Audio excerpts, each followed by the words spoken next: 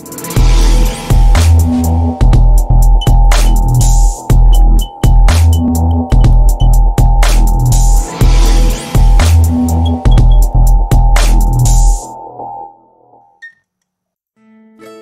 in this video we will learn about how to eliminate or minimize downtime when adding your domain to Cloudflare.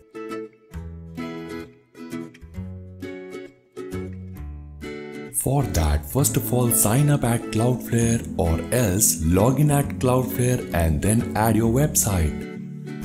Now here enter your website name and then click on add site.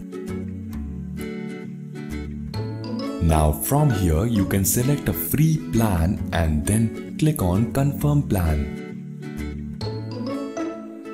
Now further you will observe that all of your records will be fetched automatically. If any record is missing, like a record is missing, then in that case simply add it.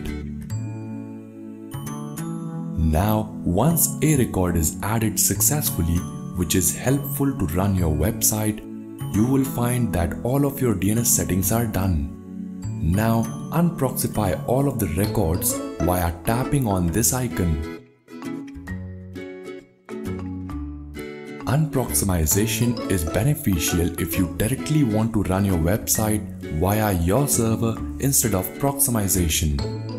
Now copy the Cloudflare name servers given by the Cloudflare and then go to your domain control panel and then provide those name servers which you have copied earlier.